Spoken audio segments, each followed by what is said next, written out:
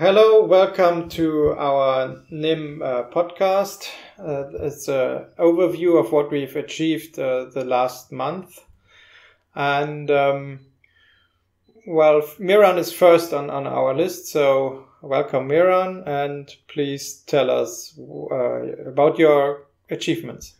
Okay, thanks. Uh, so, uh, in last month, basically what I did is written here. So first off is improve CSS for documentation. And the results are already seen in Devel Docs. So the first thing you will notice is larger font and more contrast.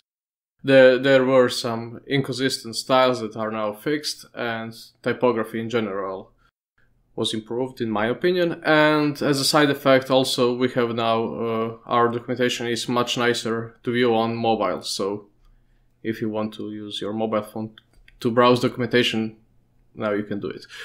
Other than that, uh, what we started uh, last month is Nimble package tests. So it started with, I think, five packages tested. Now it's 42 packages. And there were some uh, broken packages, so uh, fixes were sent upstream. So those are now fixed. Also, we fixed some regressions because of it. So in the end, I think this is a good idea and we will continue to add more packages to these tests. Also, uh, just as last month, I worked on uh, improving documentation in general. So some old modules re- uh, received uh, improved documentation, and this is not done only by me; it's also done by community. So thank you guys who are al- already helping. You can see their names in this issue. 10330 and I will add the link to the description later. And there is still more work to do, so if anybody wants to join us, please do. Your help is very so, welcome. Uh, question: We test uh, 42 packages with with Devel, right? Yes.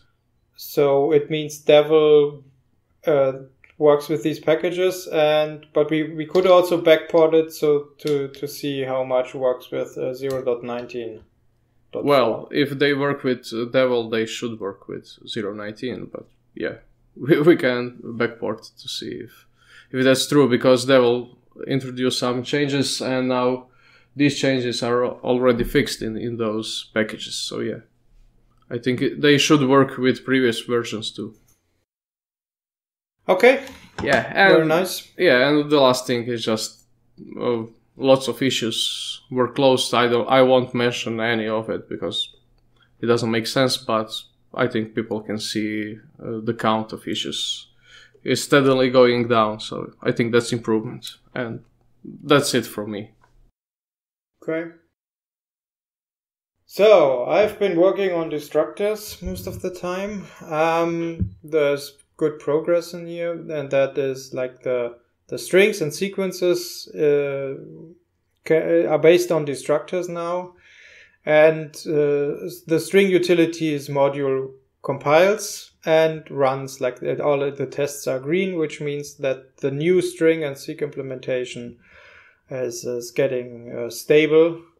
Uh, the next uh, steps on this to do is to make uh, koch.nim work with the GC destructors mode.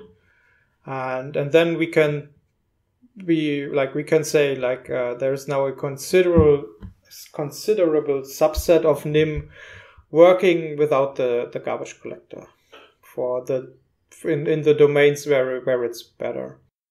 Um, then I also, um, uh, merged the, the Karax DOM modules and the standard lim, library store uh, modules, though there's little uh, friction between these left.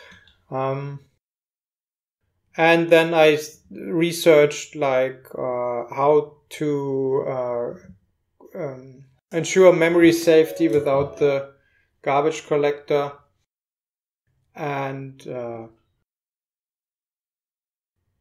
we now have a proposal in the works, but before I uh, blog about this proposal, I, I want to have uh, a prototype implementation with this new feature for, for people to try out and so that they can uh, uh yeah, give give give us some some value uh, valuable feedback because if I just uh, write down the proposal, people, I I don't think it's it's easy to to understand the the consequences of this.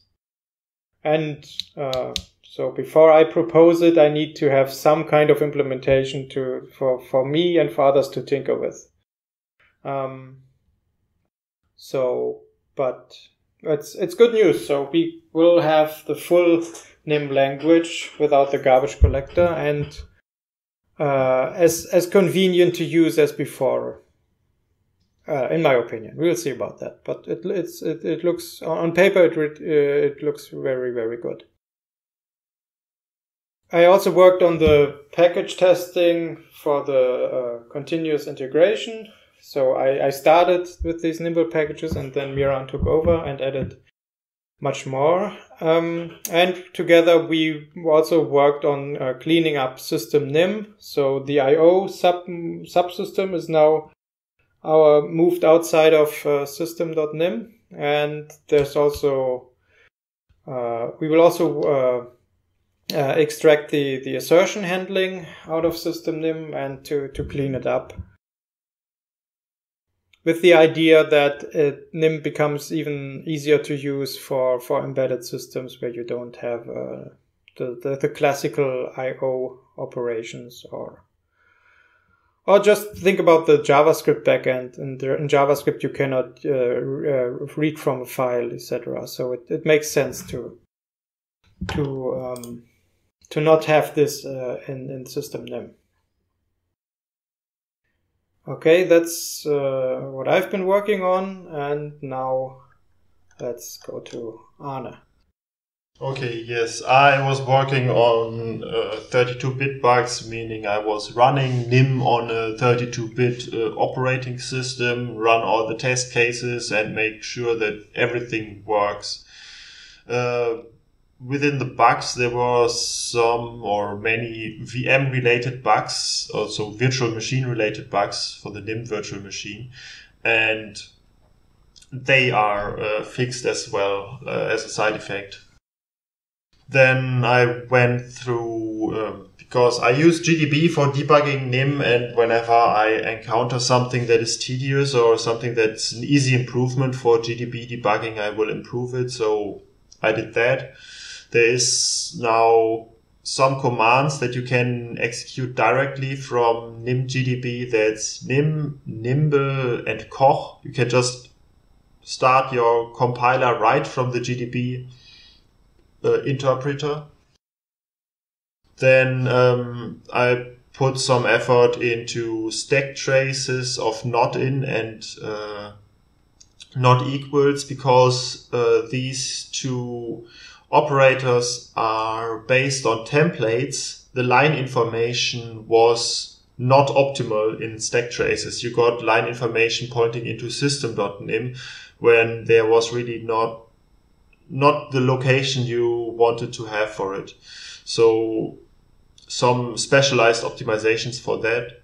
Then I was at uh, FOSDEM in um, Brussels representing NIM, uh, meeting some uh, people from the NIM community. It was a really good experience. Um, I would go there again. Um, next thing I worked on was missing case labels, meaning when you have an incomplete case statement with that. Yes, yeah, case with some enum value and uh, you didn't put all values in there, then the error message now tells you which which um, values of the enum you're missing. Previously, you just said not all cases are covered, but it didn't tell you which was missing, which was pretty annoying when you had some bigger enums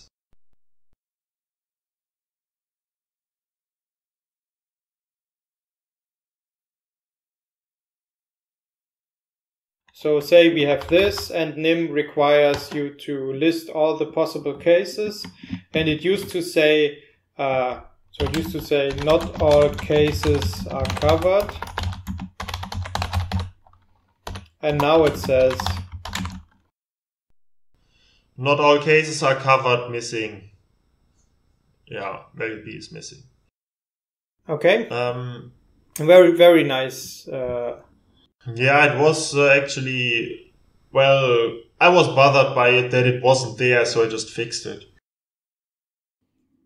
This was overdue. I mean, I I've noticed it and couldn't, but never implemented it, and people reported it multiple times, and uh, so yeah.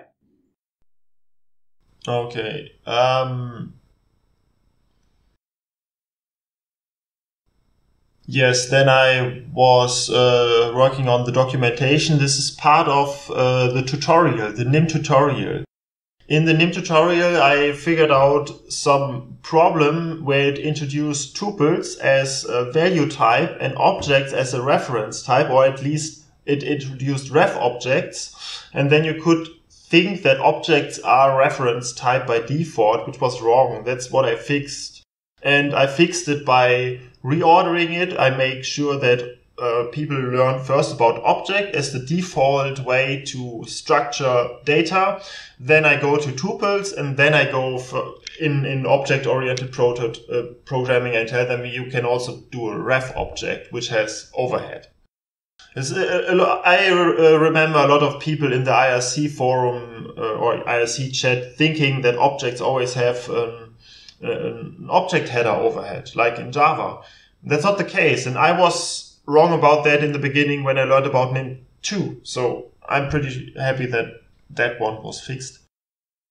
Um, then um, there was some regression in the NIM compiler that I fixed together with Araq that made my OpenGL sandbox project uh, not compile anymore.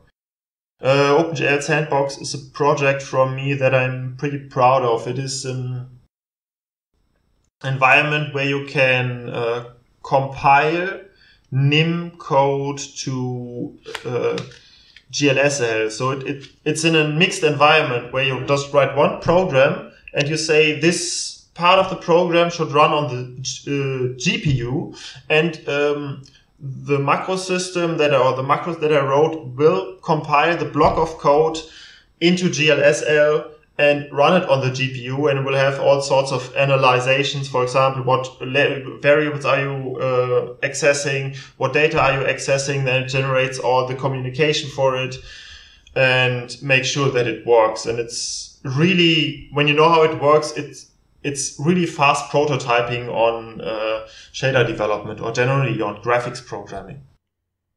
Nice.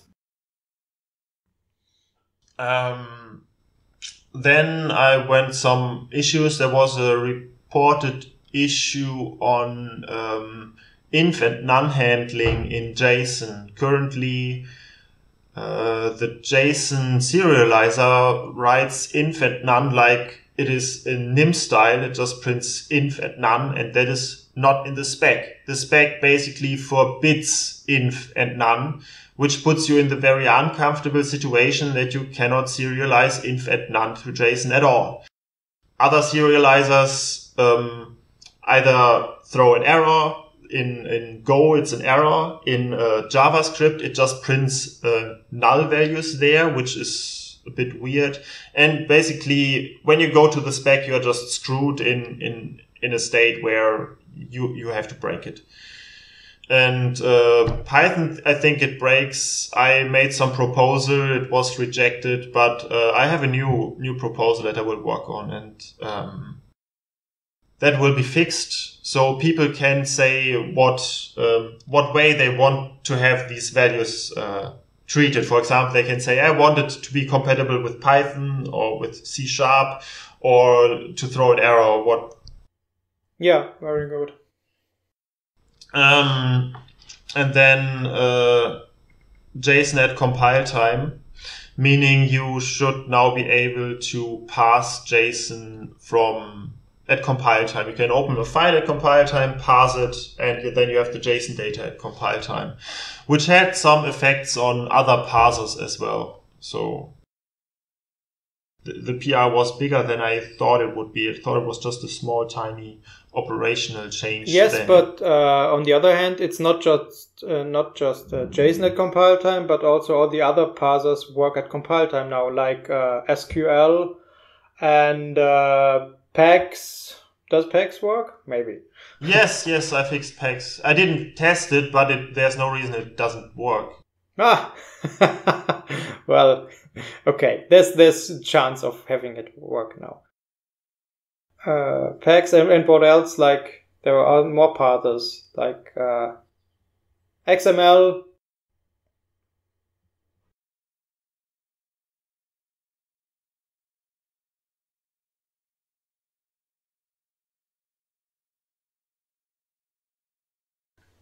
These are more Yes. important. Yeah, very nice progress. Um, I think we covered it all now. Um, uh, thank you for listening. See you the next time. Bye. Bye. Bye.